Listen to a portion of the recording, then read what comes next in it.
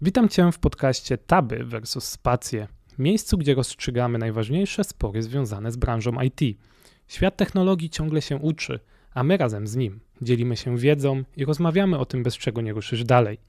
Podziel się z nami swoją opinią i daj nam znać, co Ci się podobało. Dzięki.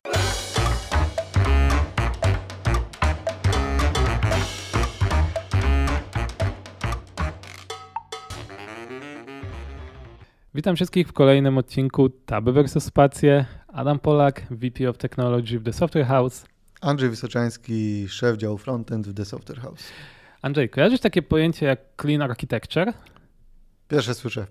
Ja też. Możemy zakończyć Nie, a tak na serio, y, myślę, że kojarzysz. Myślę, że tak.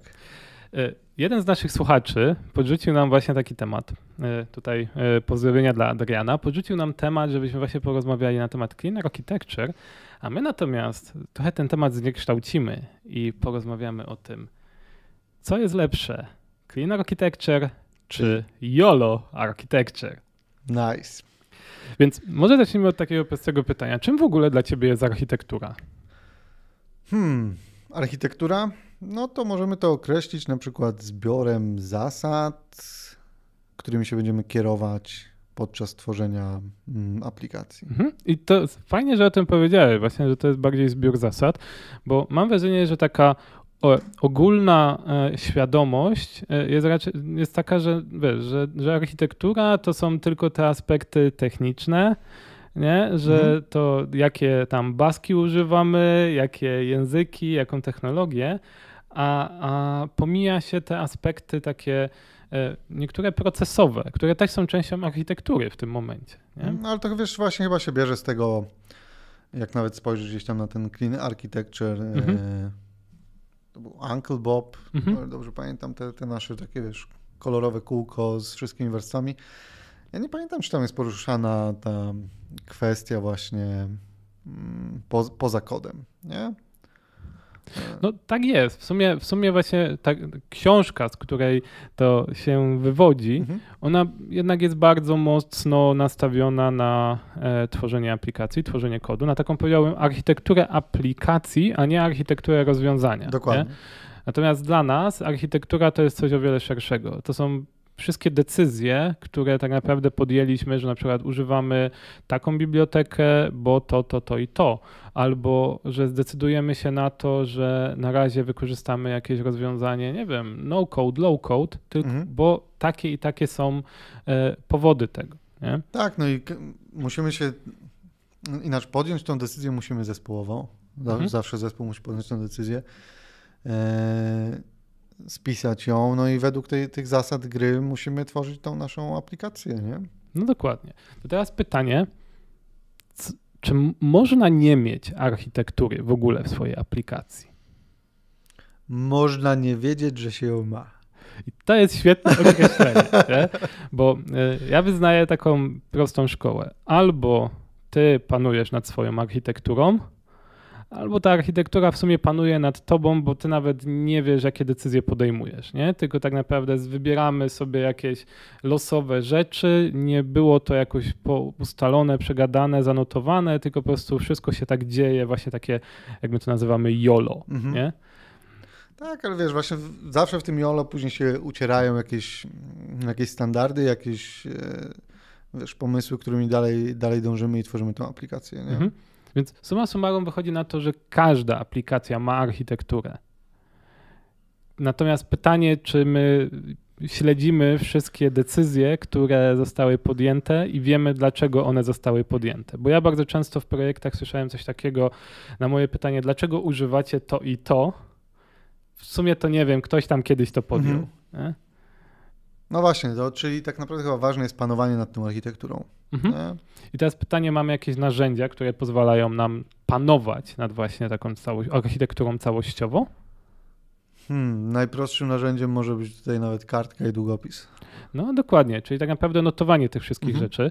Jest takie e, rozwiązanie, e, jedni nazywają je Decision Record, inni Architecture Decision Record, czyli ADR.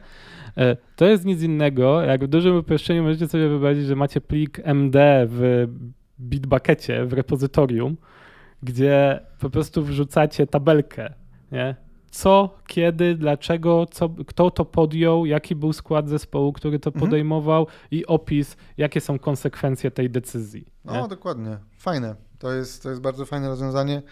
Możemy jakiś przykład taki dobry, nie wiem, na przykład zostawiamy ten kawałek legacy code'u albo używamy dalej starej biblioteki.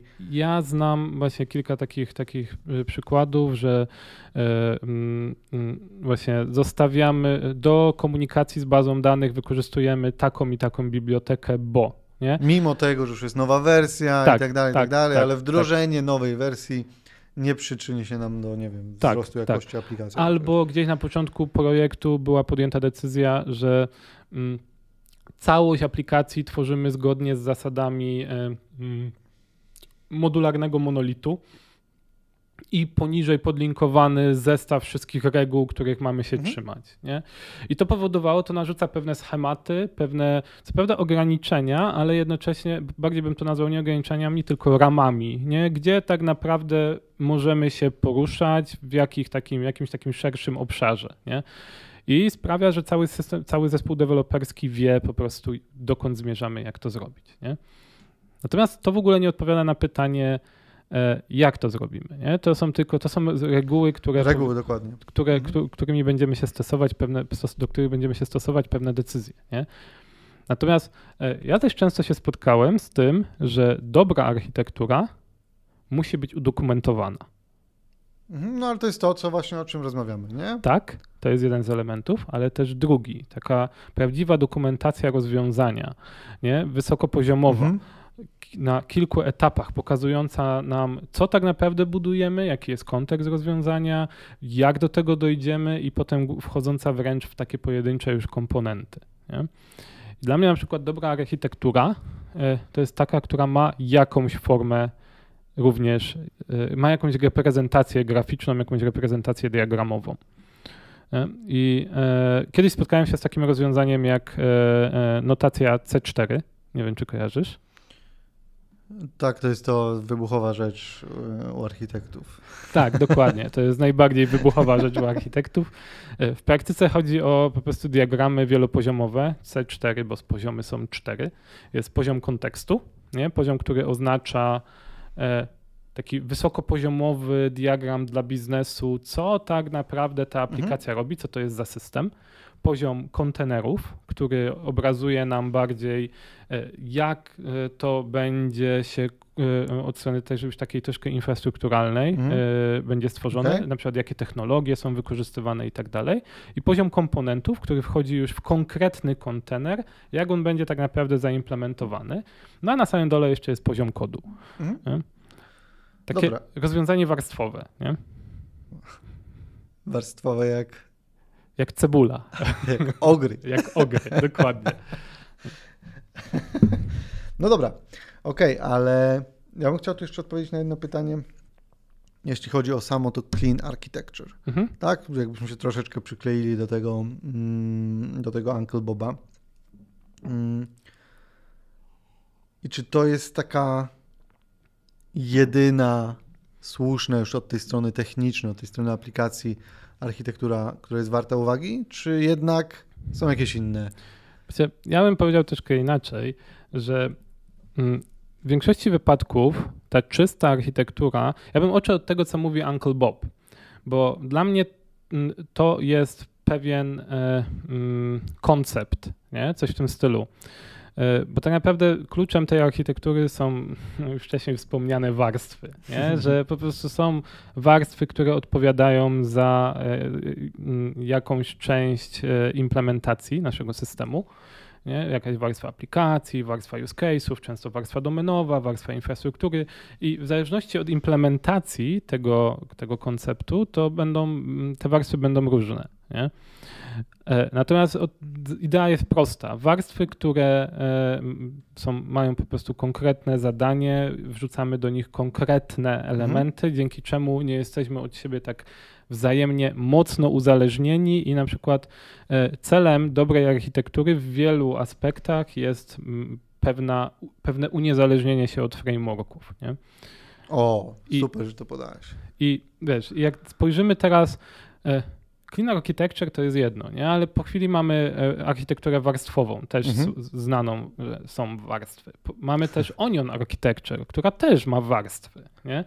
Nagle okazuje się, że mamy też mm, heksagonala, mhm. który ma warstwy i zwany jest również portami i adapterami. Generalnie okazuje się, że wszystkie architektury takie, mm, nazwijmy to aplikacji typu Enterprise, mhm mają, są, są podzielone. Nawet jak robimy głupiego kruda, to jeżeli będziemy się trzymać tej idei, że mamy to odseparowane, są pewne warstwy, mhm.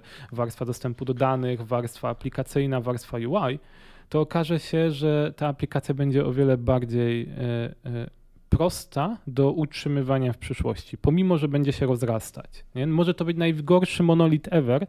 Tak długo, jak będziemy się trzymali pewnych warstw, okaże się, że, się że on odnaleźć. i tak będzie spoko.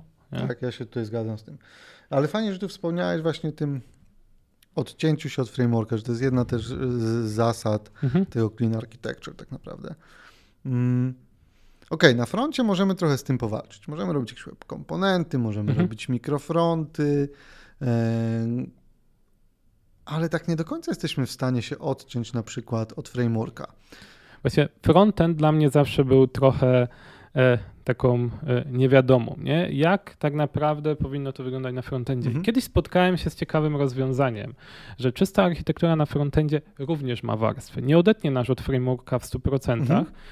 Natomiast jednocześnie nie, spowoduje, że na przykład teraz do e, Reacta e, już od jakiegoś czasu zagościł ten, to rozwiązanie z hookami. No tak. nie? I, I, to, co ja zauważyłem, to kiedyś na przykład mieliśmy bardzo dużo e, Reduxa. Nie? Mhm. I pomimo e, ogromnego hejtu na Reduxa, to Redux wprowadzał pewne warstwy, bo komunikacja z API była kompletnie w innym miejscu niż e, e, wykorzystywane dane. Nie? Okazało się, że tak naprawdę React był tylko po to, żeby e, wizualizować, tak? Do tego jest stworzony. A nie było całej logiki. Mhm. A to, co zauważyłem jakiś czas temu, to, że bardzo często właśnie w efektach czy w, w no, wszelakich mhm. tak naprawdę hookach zaczęliśmy wrzucać kod, którego tam nie powinno być. Tak, to znaczy y, zgodzę się z tobą. No ja jestem jeszcze wychowany na Reduxie i nawet dużo wcześniej, ale ja zawsze wolę mieć to odseparowane, mhm. nie? czyli tą nawet samą komunikację z API. Dokładnie. Mieć to odseparowane. Dokładnie, nie? że jest jakaś, y, to się y, często nazywa y, data access layer, mhm. coś w tym stylu, nie? I ja właśnie widzę, że wszystkie te koncepty, pomimo, że może nie są wprost, bo tak, celem czystej architektury jest odseparowanie się od frameworka, ale jednocześnie nie ma sensu odseparowywać się od frameworka, jeżeli nie widzimy w ogóle opcji, że będziemy go zmieniać. No, no tak. Bądźmy szczerzy. Tak. Nie? E, ale ja bym wszedł tutaj troszeczkę, troszeczkę niżej, bo jesteśmy w stanie na przykład mm, tutaj do, poziomu, do poziomu biblioteki i na przykład rozwiązań UI-owych, czyli nie wiem, czy to material, czy mhm. design i w tym momencie jesteśmy w stanie się mm, zabezpieczyć, wiesz, robić sobie komponenty, które będą owrapowywane dopiero tymi mhm. mm, UI-owymi rzeczami. I tak naprawdę może być taka sytuacja, że będziemy musieli zmienić ten UI za jakiś mhm. czas. Nie? Czyli ta nasza logika, jakkolwiek brzmi logika na froncie, e, zostanie odseparowana. I możemy sobie swobodnie wymieniać później te, te biblioteki. Dla mnie to brzmi jak takie e, porty i adaptery na frontendzie, takie heksagonal trochę. No, także tak, ta, ta architektura też się tam pojawia. No i później już możemy mieć właśnie te mikrofronty i tak dalej. Mhm. To już jest kolejna jakaś tam e, warstwa abstrakcji. Mm, no a jak się to ma do, do backendu? Jeżeli na przykład używamy Expressa? My myślę, że mamy trochę łatwiej, mhm. bo e, przypadku e, dobrej architektury opartej e, o, o, o właśnie architekturę warstwową, cała komunikacja z frameworkiem, czy to z jakimiś bibliotekami, powinna zakończyć się na tej warstwie, tam nazwijmy to warstwę UI. Nie? To jest warstwa, gdzie przychodzi nam request, a potem cała reszta tak naprawdę już jest przetwarzana, czy to w jakichś serwisach, e, czy to w jakichś handlerach mhm. i tak dalej. My mało kiedy tworzymy aplikacje, które e, przetwarzają rzeczy bezpośrednio w kontrolerach, które przetwarzają rzeczy wykorzystując jakieś rozwiązania e, znane z frameworków. Tutaj Express pod tym względem moim zdaniem jest o wiele łatwiejszy do odseparowania się niż taki naprawdę fully fledged framework jak E, e, nie wiem, Nest.js, jak e, Symfony, mhm. jak no, takie, na przykład albo Javowy Spring, nie? Takie kobyły. I tutaj tak naprawdę takim najciekawszym elementem, który sprawia, który pozwala nam się odseparować, no to jest to słynne DDD. Mhm.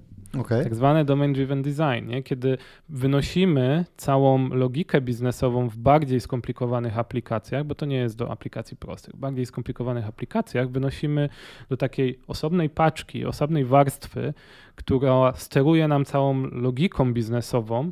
Ona kompletnie jest uniezależniona od frameworka. Mógłbym ją wyciągnąć, przenieść do gdzie indziej kompletnie, nawet jeżeli bym przekonwertował kod, to w sumie do innego języka, przynajmniej takie jest założenie, i e, wokół niej zbudować na nowo właśnie te połączenia aplikacyjne. I technicznie nam to powinno działać out of the box. Okej, okay, dobra. Bo tu miałbym teraz takie troszeczkę pytanie. W Expressie możemy sobie bardzo mocno panować nad tą architekturą. Mhm. Express nam aż tak dużo tego nie narzuca. A czy właśnie dla osób, które mają jednak trochę mniej styczności e, z tworzeniem architektury, z mhm. planowaniem dobrze aplikacji, czy dla takiej osoby nie będzie łatwiejszym rozwiązaniem wybór jakiegoś frameworka, który ci tą architekturę narzuca odgórnie? Framework sam w sobie nie narzuca architektury. Mhm. Framework, jak już to bym powiedział, narzuca strukturę. Okej, okay, dobra. Mhm. I e, architektura to jest coś kompletnie innego. Można mieć framework, który narzuci nam konkretną strukturę mhm. katalogów, którą będziemy musieli e, e, pilnować, a i tak mieć architekturę warstwową, która okay. powoduje, że jesteśmy od niego uniezależnieni. Tak naprawdę to, czy e, mamy architekturę czystą, która jest właśnie pozwala nam na podmianę różnych interfejsów, to będzie zależało tylko od nas. I od, to, od tego, jak bardzo my będziemy wykorzystywać właśnie rzeczy, które są niezależne od frameworka. Przykładowo zamiast e, typować e, po jakimś repozytorium e, e ORM-a, robić sobie interfejsy, nie? Mhm. Wtedy będziemy mogli w dowolnym momencie to wymienić, nie? Przykładowo zamiast e, wykorzystywać jakieś rzeczy typowo e, frameworkowych, korzystać z dependency injection do wstrzykiwania właśnie interfejsów, które są implementowane przez te mhm. E, rzeczy okay. frameworkowe, budowanie przeróżnych adapterów. Na takiej zasadzie na przykład działa Hexagona, nie? że mamy port, który jest technicznie interfejsem i mamy adapter, który opakowywuje nam coś, tak jak ty opowiedziałeś, nie? że macie no tak. jakiś komponent, opakowywujecie go, ale interfejs jakiś macie, wiecie, że po prostu wyjściem tego ma być to i to. Nie? Dokładnie. Albo wejściem ma być to i to. I na tej zasadzie tak naprawdę budowanie aplikacji, korzystając z tych fajnych wzorców projektowych, czyli właśnie adapter, jakiś bridge, y, kompozycja, dependency injection, y, fabryki, to są wszystko tak naprawdę wzorce, które w, do, moc, w takiej czystej architekturze na pewno będziecie wykorzystywać. Nie?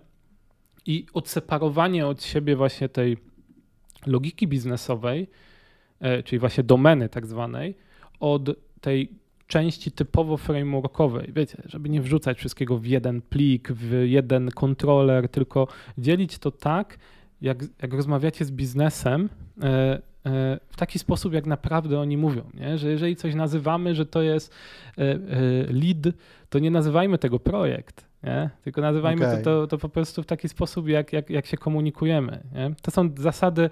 Mm, to są co prawda zasady w dużej mierze DDD, natomiast DDD e, w swojej takiej prostocie e, to jest nic innego jak takie dobre programowanie. Nie, nie trzeba korzystać ze wszystkich jego zasad obowiązkowo, natomiast duża część tych elementów, którymi to się stosuje, takie w szczególności te wzorce taktyczne, e, one sprawiają, że nieważne, czy macie prawdziwe DDD, czy nie, to i tak wasz kod będzie wyglądać 100 razy lepiej. Mhm. I zawsze się daje wdrożyć.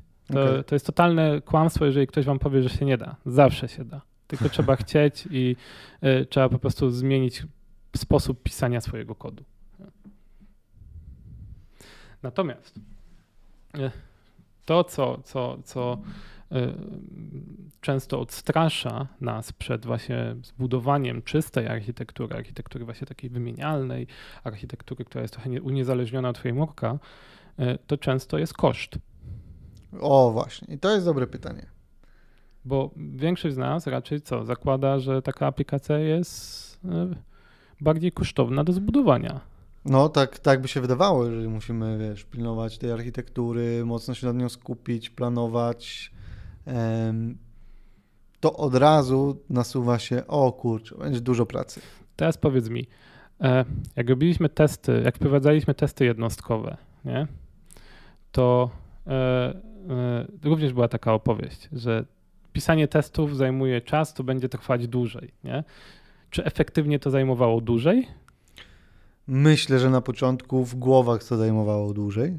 Mhm. Jednak teraz nie wyobrażam sobie aplikacji bez testu. Dokładnie. Nie? Okazuje się, że ile, ja pamiętam, ile czasu traciliśmy na naprawianie błędów. Mhm.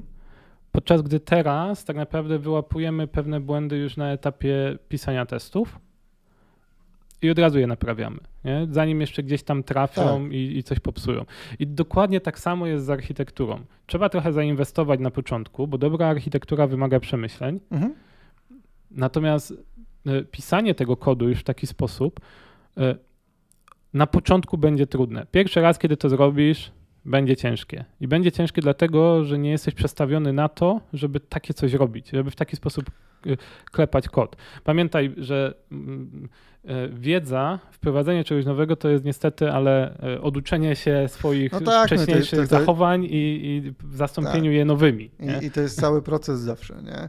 Znaczy uważam, że jak najbardziej powinniśmy dbać o tą architekturę i faktycznie ten początek może być gdzieś tam ciężki, ale tak jak zawsze to pokazuje, im ciężej jest na początku, mhm. tym później jest lepiej. Nie? Są świetne e, elementy wspierające tworzenie dobrej architektury. I mam na myśli właśnie coś, co wydaje mi się, że jest mało, mało popularne, a co ostatnio my na przykład przekonaliśmy się u nas w TSH, że jest ogromną wartością. Nie? E, zrobić sobie po prostu warsztaty, mm, takie e, mm, z jednej strony są to warsztaty dotyczące samego e, projektu, ale z drugiej strony też warsztatu trochę dotyczące rozwiązania, nie? Mhm. Czyli mamy na nim biznes, mamy na nich deweloperów. Musimy wiedzieć, co tam się dzieje po prostu w tej aplikacji. Tak, co się ma dokładnie stać i potem na tej podstawie decydować, jak to zaimplementować, nie? Tak, no ale to, to jest, wiesz, to jest, no ja myślę, że to, to jest temat Greenfieldu i, i jak go dobrze zaplanować. A ja uważam, że też nie tylko Greenfieldu, bo takie same warsztaty trzeba zrobić w przypadku aplikacji już istniejących, właśnie po to, żeby móc je wyprowadzić z jakiegoś zastoju. Okay, dobra. Bądź, problem, bądź jakichś problemów, które mają. Pierw trzeba zrozumieć, co jest potrzebą. I dlatego na przykład e, w wielu takich projektach albo robimy e, e, event storming, mhm. albo jakąś inną formę warsztatów, które mają na celu wyciągnięcie tej informacji, a potem to przekształcamy właśnie w te wszystkie rzeczy, które wcześniej, wiesz, powiedzieliśmy, no tak. ADR-y, decyzje, diagramy C4 i dopiero wtedy wchodzimy i tworzymy architekturę aplikacji, tą, to co większość z nas rozumie jako formę kodu, nie? Mhm. Wcześniej nie ma sensu, bo po co? Nie? No tak, jeżeli nie wiemy, co robimy, nie wiemy, jaki mamy, to wtedy wychodzimy na YOLO Development. Tak Dokładnie, naprawdę. wtedy właśnie tak naprawdę, okej, okay, dobra, wszystko wyjdzie w trakcie, nie? No to bierzemy to, bierzemy to, bierzemy to, bierzemy to. No, no, no i to jest ten prawdziwy koszt, nie? Tutaj. Tak. Czyli odpowiednie przygotowanie się do, do prac, które, będzie, które będą trwały przez najbliższe miesiące, czasami mhm. nawet i lata. Czyli przewidzenie wszystkich zagrożeń i wymyślenie wszystkich. Właśnie, e, powiedziałbym, że nie przewidzimy wszystkich zagrożeń. Nie? To, to jest niewykonalne. Nie? Mhm. Natomiast trzeba wiedzieć, co jest takim naszym podstawą, co chcemy mieć dobrze zamodelowane, te rzeczy dookoła prawdopodobnie będą nam się zmieniać. Natomiast musi być taki pewien core, co my właściwie chcemy osiągnąć i do, do tego tak naprawdę dobierać właśnie rozwiązania, bo może się okazać, że wiesz, wszystkie te paterny, które tu powiedzieliśmy, że e, nie wiem, heksagonalna architektura i tak dalej, że one okażą się niewartościowe, tylko lepszym rozwiązaniem jest typowy CRUD. Mhm. Ale takiego CRUDa, nawet jeżeli będziemy setupować, może się okazać, że on też może być czysty, nie? On też może być fajny, że dalej będziemy używać wszystkie takie wzorce taktyczne. I e, to nie jest tak, że trzeba, e, że jeżeli CRUD, to to jest złe. Nie? 80-90% naszych aplikacji to jest CRUD. No tak. Nie? A jednak potrafimy go robić dobrze. Tak, tutaj jeszcze wiesz, to jest, nasuwa mi się taka myśl, że te, w przypadku właśnie wyboru tej architektury mhm. mogą paść nawet takie decyzje, że hej, to jednak trzeba zaorać i napisać na nowo, bo to będzie tańsze, szybsze i bardziej efektywne. Albo hej, tu trzeba dorobić jakieś mikroserwisy, mikrofronty i tak dalej, mhm. żebyśmy już nie brnęli w tym kodzie, tylko połączyli to już z nową, z nową, z nową wersją aplikacji. Albo idziemy dalej, bo da się to uratować. Może też tak być i tutaj znowu wchodzimy właśnie w takie e, taką wiedzę trochę e, e, mm, wzorcową, bo mm, software development istnieje od wielu lat. To nie jest 20 lat temu. To co najmniej podejrzewam z 40-50 nawet może się okazać, nie? Tak szczerze. I e, mm, wierzcie mi, większość tych rzeczy, które my robimy teraz, one już były. one już były i prawdopodobnie są, prawdopodobnie na 100% są opisane w różnych bardzo mądrych książkach. Są wzorce architektoniczne na konkretne problemy. Nie? Na przykład na ten problem, który teraz opisałeś, że mamy aplikację Legacy, e, mhm. którą chcemy transformować w nową wersję, więc setupujemy jakiś nowy kod i stopniowo będziemy przenosić do niego te, te, jakieś tam elementy. Okazuje się, że jest wzorzec, nazywa się Strangler. I to jest wzorzec, który mówi właśnie, jak połączyć takie dwie aplikacje i potem móc stopniowo przechodzić do czegoś innego. Nie? I to, ta wiedza prawdopodobnie jest jedną z bardziej istotnych. Nie? E, wydaje mi się, że dużo z tych wzorców e, jest w takiej książce mm, Martina Fowlera e, Patterns of Application Architecture. I dużo takich rzeczy, tak naprawdę, dużo tych wzorców, które są istotne, które są ważne, już miały miejsce, już zostały odkryte, już tak naprawdę są właśnie mhm. fajnie opisane. Tak, to co właśnie chciałem tu powiedzieć, że ta praca u podstaw, tak to nazwijmy, czyli mhm. przed, przed rozpoczęciem e, projektu, pozwoli nam właśnie znaleźć te wzorce, pozwoli nam dobrać odpowiedni wzorzec e, i nim podążać gdzieś tam w, da, w, dalszej pracy, w przeciwieństwie do naszego YOLO developmentu, gdzie hmm, może wpadniemy na jakiś fajny pomysł, ale może, może, może niekoniecznie. No i tak jest, bo e, dobór technologii to, co tak naprawdę jeszcze się wiąże właśnie z tym z takim YOLO developmentem bardzo często, to jest taki hype-driven development, nie? czyli dobór technologii do takich, które w danym momencie są najbardziej popularne, a nie takich, które powiedziałbym, naprawdę rozwiążą nasz mhm. problem. Nie? Użyjmy najnowszego frameworka, bo jest sexy. Nie? Użyjmy y, takiej, takiego sposobu komunikacji. Nie wiemy, jak to działa, nie? Ale, ale ja chcę spróbować. Ale chcemy spróbować, użyjmy. Nie? No. I nagle w którymś momencie dochodzimy, dostajemy aplikację, którą e, te kilka osób, które ją stworzyły, jest w stanie ją utrzymać, po czym ten team może powiedzieć, że oni już się znudzili tym projektem. Dokładnie. Dokładnie. Teraz kolejny team przejmuje aplikację, której nikt nie umie obsługiwać, bla, bla, tak, bla. I wtedy no. mówią, że to jest legacy. Pomimo, że ta aplikacja powstała pół roku wcześniej. Tak. Nie? Ale tak, tak, takie są realia. Nie? Tak, to, tak to bardzo często niestety wygląda. Nie? Więc Mm, gdybym miał określić, czym tak naprawdę jest ta e, czysta architektura, no to to jest właśnie takie spojrzenie całościowe nie tylko na to, gdzie obecnie jesteśmy z aplikacją, ale również gdzie za jakiś czas będziemy i czy albo dokąd nie, chcemy dojść. Tak, albo nie? dokąd chcemy dojść i czy to nie będzie powodować potem problemów. Nie? I są pewne rzeczy, które właśnie te decyzje, o których mówiliśmy na początku, to są na przykład decyzje, że nie myślimy o tym, żeby kod był 100% odseparowany od frameworka, bo jeżeli będzie taka potrzeba, to wszyscy się zgadzamy, że przepiszemy całą aplikację na mhm. przykład. Nie? No tak. Natomiast są decyzje, które będą wymagać tylko e, mm, teamu deweloperskiego, a są decyzje, które jednak będą musiały być też wciągnięte e, w taki, albo w które będą musiały zostać wciągnięte osoby biznesowe, nie? bo mhm. nie zawsze tak naprawdę decyzją e, zespołu jest to, czy aplikacja może być przepisana. No tak. No te, te pieniądze skądś się muszą znaleźć. No, dokładnie.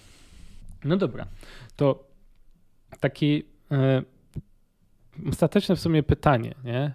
Andrzej, czy jak tak naprawdę Twoim zdaniem powinien wyglądać taki dobry development i czy, czy się go trzymasz? Mhm. Dobra, czyli dla mnie najważniejsze, to praca powinna być, może nie praca, ale spojrzenie na całość, całość e, aplikacji powinna być zaplanowana. To, mhm. to na pewno. I to zarówno jeśli chodzi o kod, mhm. i zarówno o wszystkie rozwiązania, które będą wiesz, dzia działy się dookoła tego, tej aplikacji. Jeżeli to zrobimy, nieważne czy to będzie, wiesz, na dzień dzisiejszy super rozwiązanie, czy może trochę gorsze, ale przynajmniej będziemy mieć wyty wytyczoną jakąś ścieżkę i będziemy wiedzieć, dokąd, dokąd yy, idziemy. Wiadomo, że każdy może popełnić błędy nawet na planowaniu architektury, mhm. Ale nic nie stoi na przeszkodzie, żeby sobie te planowanie powtórzyć, żeby modyfikować tę architekturę w trakcie życia całej aplikacji. No właśnie, ja też jestem wielkim fanem tego, żeby w pierwszej kolejności rozplanować sobie mm, co tak naprawdę chcemy zrobić, co tak, jak to zrobimy, mhm. mieć pewny zestaw diagramów, pewny zestaw decyzji, bibliotek, e, frameworków, które wykorzystamy, tak żeby to było świadome, a potem tak naprawdę pozwalać tej architekturze też ewoluować. I oczywiście Dokładnie. ta ewolucja to również jest swego rodzaju E, spotkanie, rozmowa, decyzje i tak dalej, i tak dalej.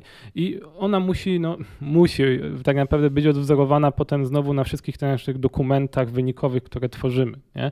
Właśnie po to, żeby potem jak wchodzi kolejny zespół, nowe osoby, to żeby one też rozumiały, skąd my tak naprawdę zaczęliśmy, co było tak naprawdę tym początkiem. Nie?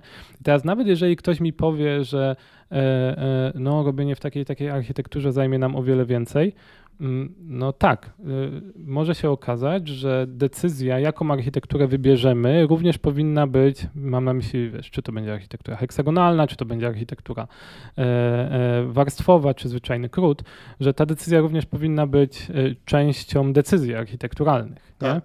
Natomiast i na przykład jeżeli naszym głównym celem jest dowieść szybko, to możliwe, że nie powinniśmy się bawić w takie i takie rzeczy, natomiast założyć sobie, że potem obowiązkowo musimy e, przejść na, e, na wyższy poziom, bo na mhm. przykład nas to będzie odpowiednio mocno tak, ograniczać. Możemy wiesz, zaplanować od razu refaktor rozwiązań, które robimy teraz. Tak? Na przykład, to też jest rozwiązanie. Nie? Czasami, no, często nielubiane, ale to też jest rozwiązanie i to też jest część architektury w tym mhm. momencie. Nie? Tylko to ka każda część tak naprawdę tego zespołu, jak zarówno z biznesem, mhm. każdy musi być świadomy tych decyzji. Tak.